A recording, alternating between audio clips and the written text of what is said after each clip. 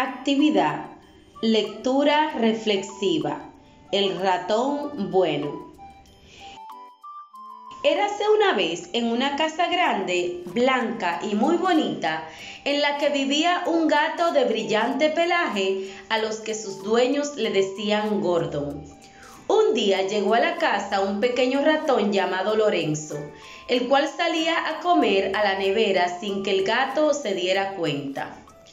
Gordon era muy envidioso y creído porque sus dueños lo consentían mucho.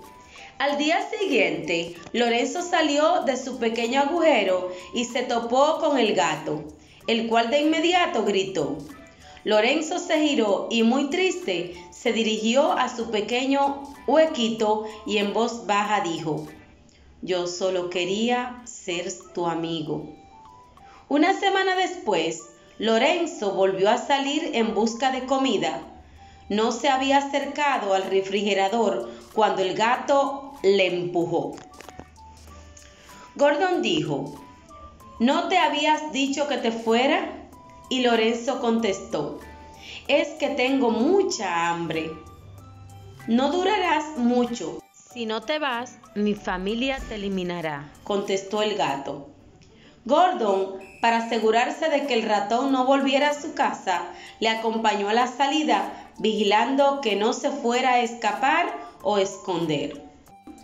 No pasó mucho tiempo cuando de pronto se escucharon unos ladridos que cada vez se acercaban más.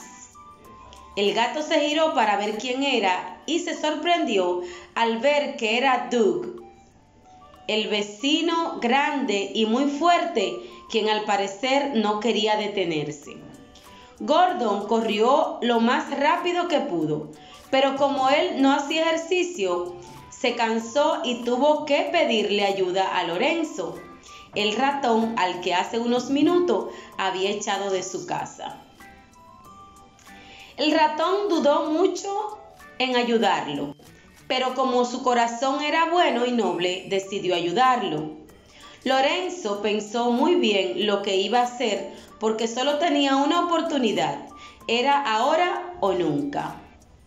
Sin más demora, vio al perro y lo mordió con sus grandes dientes para que así dejara en paz al gato. El gato sorprendido y muy agradecido con el ratón por haberlo ayudado, le pidió disculpa por echarlo de su casa, le pidió que regresara y prometió no volverlo a molestar.